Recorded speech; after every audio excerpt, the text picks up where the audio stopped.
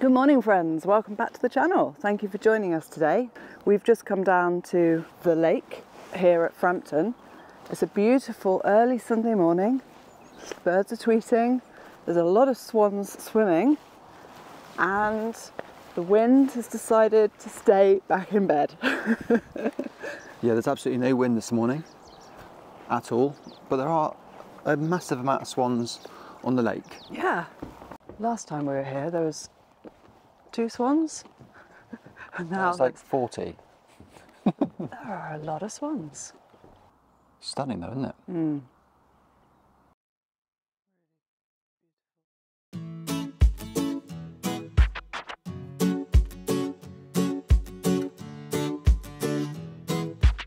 If truth be known, we haven't been out on the lake for quite a few weeks because Row and I have both had a bit of a touch of the lurgy, one after each other. So we're coming back out today to try and um, you know dust off and brush up on the skills that we learned in the Lake District. Yeah, if you haven't seen the episodes in the Lake District, you should definitely check those out because we had a lot of fun up there. It was incredible, wasn't it? It was a wonderful time. um, but we're just checking out the weather now and, well, the wind now, and nothing is happening wind wise. What we were hoping to do is in a few weeks, Dan has got the chance to race here on a GP14, a beautiful all wooden boat. And uh, we thought we'd practice creating our own course and see how well we could do going around the buoys and like as if we were racing and just practice that, wasn't it? But Yeah, we can poodle around now, but I'm not sure whether or not we can sail a course confidently. So we'll, we'll give that a go if we can get out on the water today. yeah, The wind indicator is doing absolutely nothing. I did check the wind. There's supposed to be a bit this morning, but I just checked it again, and at some of the points, there's zero wind. So I had an email from the berthing secretary to say that he's had to do some maintenance here and move a few of the boats around, including ours. They are nestled together now, which is nice. For those of you that don't know, we have a gull um, and we have a wayfarer. So we're just going to go and check out how they've been moved and where they are. Let's go see. And this isn't for the sun like it was in the latest trip. This is because it's cold and I haven't got my winter hat out today. Still don't have quite the right footwear No, for this sort of shenanigans. And I can tell you, it's getting quite cold on the tootsies. I have found you some nice neoprene boots with, which look like they've got a really, um, what's the word? Non-slip sole. That's what you want, isn't it? You want a sole that doesn't slip. Here we are. There's good medicine, and there's mouse next to each other. Oh, Oh, good. got a puddle. We Oh. have a puddle. I think it might be um, plan B for the filming today, my love. Okie dokes. I think the sailing is out of the question in terms of sailing a course. Sad face. You can't do much sailing if you haven't got much wind. So I think we're going to have to come up with a creative, even better plan for today. Oh, I like the sound of that.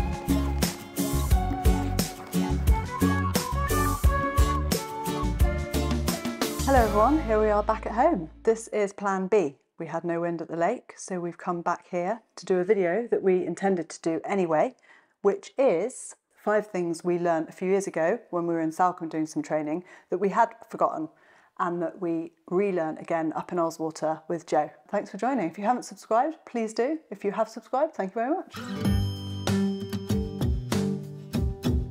So number one is the tiller grip. Um, I've been holding the tiller all sorts of different ways. Uh, no doubt you're going to be splicing in a bit of footage of the different types of embarrassing ways I was using the tiller. Or you could say creative, Alternative ways. alternative, outside the box ways, possibly even innovative. so yeah, I was holding it in a dagger grip to begin with. Um, but now, you know, we learned to hold the uh, tiller behind the back when we got an aft main and being in, in the frying pan grip. This is your standard position. Yep. Tiller extension behind you and holding it like the handle of a frying pan.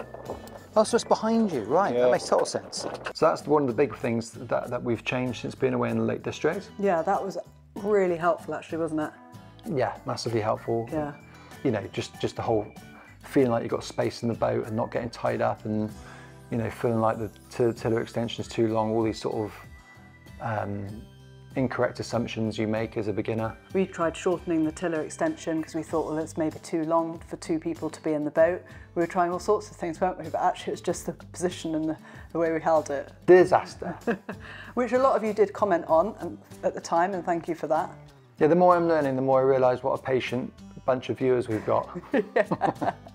so that's number one, is just getting the tiller grip right, type of setup you've got, whether it's a centre main or, or, or, or an aft main.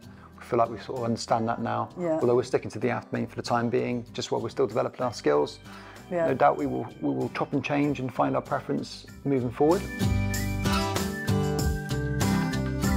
So what we have learned, and just we're recapping what we've learned ourselves, which is if you're going to tack, if I'm at the helm, I would say ready about to the crew. I'm going to say to the crew, ready about. I would say ready. Ready. And then I would, and then I would position myself and get ready. And to push the tiller extension, and then say lee ho. Shouting Lee ho! Lee ho. Oh, here's a special bonus point though. Oh, go on. Do you know why it's called lee ho? Oh, now I want to be able to say I do and come up with something really flashy, but no, tell us, Daniel. Um, well, it's actually in one of our comments from one of our special viewers. Oh, sorry. I should remember that. Go on.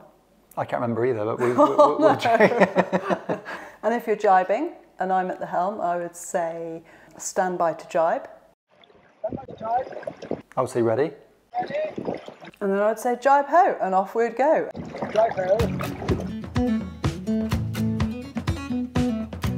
Uh, centre board, you've put here, centre When to have it up and when to have it down, or, you know, how far up and down it should be. Yes, I, I'm still struggling with this one. I still don't feel that confident in when to have it up and when to have it down, but I do know out of experience recently that when I forgot to put the centreboard down and we were, we were, we were launching on a lee shore wind, I didn't put it down, so we just drifted over onto the other pontoon and got stuck. So it's that one's really in my head because of the experience. It's making it more exact, really. The basic Yeah. principles of it kind of understand, but the Yeah. um, but the the nuance of it Yeah. you still need to learn. Yeah. Yeah. So you, you so you got points of sail, which are going to change how far down or up the centre board is. Yeah, and we should probably put in something around about here what that is. yes. yeah, so still quite a bit to learn on the centreboard, even though um, it's like we're definitely getting there. We're moving forward with it, aren't we? You know?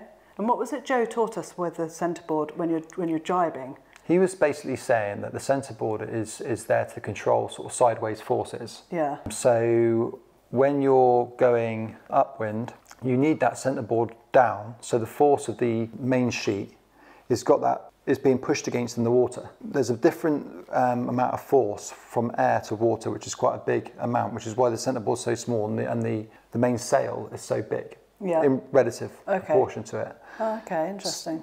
So if that's not there, when, when that wind's being pushed into this and creating that, that force, then this just gets pushed across and you slide across the, the water. Right, But when you're going downwind, the boom's swinging across and creating that force. So you actually don't, it's not a problem to have that slide. That was it. It, and if you do have that down, it probably isn't the end of the world in light, lighter winds, but maybe in heavier winds, which we haven't even been in yet, No. um, I think you've got a risk of capsize. Tell me if that's wrong. Yeah, let us know. We're still learning. Still learning. What's next? Number four, lying to. Oh, this was really helpful actually when we were up in Ullswater on the lake. Lying to, which is a way to stop the boat when you're in the middle of the water.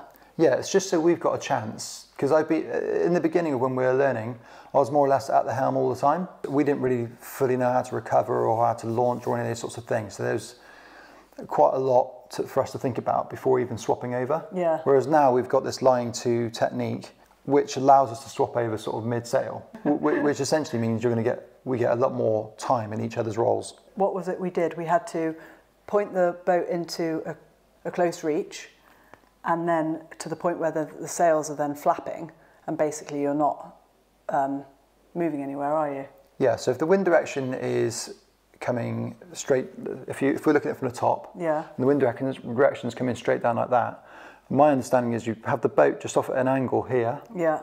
and then your sails are just left to flap and flap in the wind, basically. Yeah. Yeah. So if you have your, if you're, yeah, and then that allows you to get power again quickly by pulling power back into the sails again. Yeah. If you've got it dead straight, you've just got a little bit more of a problem getting the power back into the sails, is my Mm. understanding. Yeah. Tell me if I'm wrong.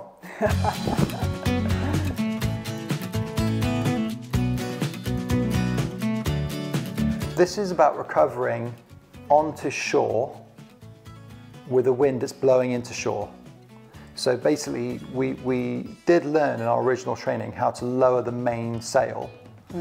So then you sort of just bring yourself in on the jib. The first time we went out and, so- do you remember the first time we went out and we sailed at Frampton? and we were coming back in, and the and one of the women in, who was in the races race came out and was shouting, give, Yeah. I say shouting at us, giving us instructions from the shore Yeah. To try. of what to do as we were recovering. Yeah. Um, and one of them was to, to lower the main sheet because we were coming, we were downwind as we were coming back into the, the beach basically. Yeah. And we lowered it really early on, so we just ended up marooned. so we've kind of relearned that skill. Yeah. We still haven't got that nailed, and also No. you can have these uh, sort of uh, wind shadows. So Mm. say you're coming, that's which is what we had when we got to the beach. Yeah. If we'd have got the momentum of that right, we wouldn't have ever had to use the paddle. But on that occasion, we did use the paddle. Yeah. Um, so we're still having to use backups, but again, that's something else which is starting to come, isn't it?